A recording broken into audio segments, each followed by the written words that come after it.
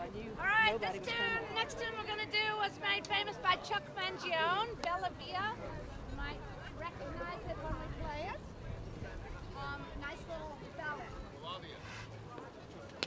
Ballavia? Is that the right rock? Slavic. Oh, okay.